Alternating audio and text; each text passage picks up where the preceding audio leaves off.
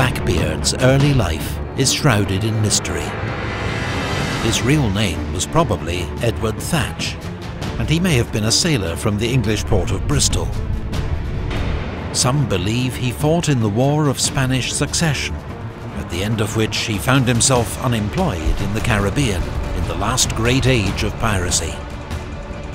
So he travelled to the outlaw haven of Nassau and turned pirate.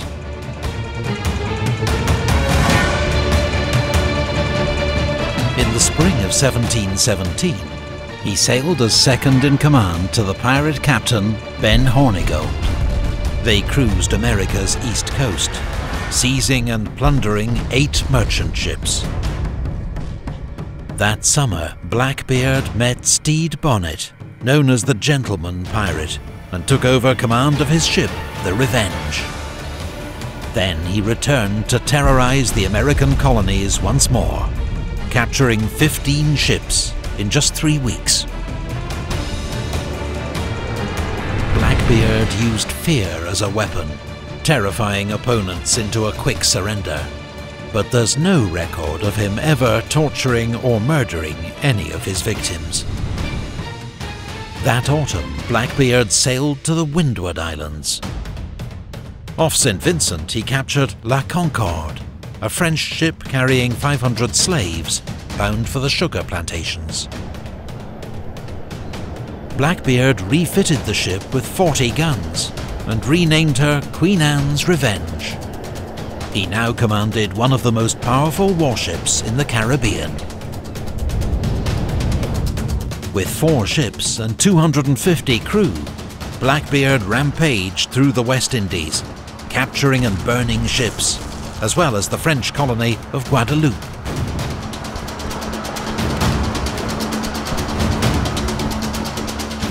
Then, he sailed west.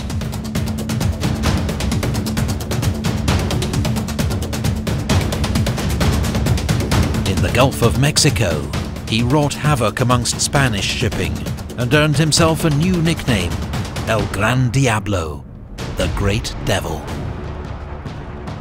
But despite many prizes, morale was low amongst Blackbeard's crew. They hadn't had a big haul in months.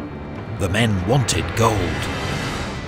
So Blackbeard sailed to the Florida coast, where the Spanish treasure fleet had been wrecked three years before. His men searched the wrecks for gold and silver, but scavengers had already taken the easy spoils, and they found little of value.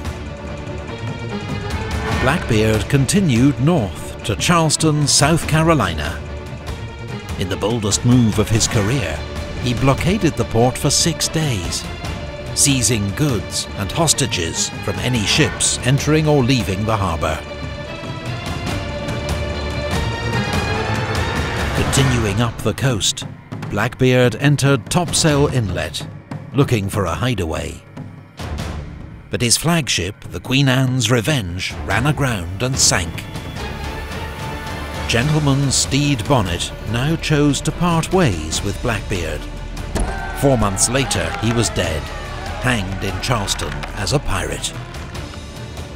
Blackbeard marooned part of his crew and sailed with his closest companions to Bath, North Carolina, where he secured a royal pardon from the governor as part of a pirate amnesty. He and his men set up base on Ocracoke Island, but were soon back to their old ways, plundering two French ships out at sea. Blackbeard claimed his loot, 180 barrels of sugar, came from an abandoned ship, but few were fooled. Alexander Spotswood, Lieutenant Governor of the neighbouring colony of Virginia, now decided to deal with Blackbeard once and for all. Flouting colonial law, he sent a naval task force to North Carolina, with orders to take Blackbeard, dead or alive. Lieutenant Maynard of the Royal Navy and 60 men caught the pirates off guard at Ocracoke Island.